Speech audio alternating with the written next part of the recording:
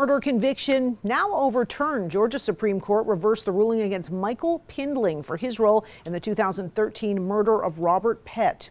Pindling's attorney says they won the case because the jury didn't know they needed a witness other than an accomplice to prove the case. Um, and that uh, juries must be, that a jury's unawareness of those protections is a fatal, fundamental uh, defect in the procedure of a jury trial. The jury must be aware of how to evaluate accomplice testimony. And if they're not, it, it undermines the fairness of the proceedings.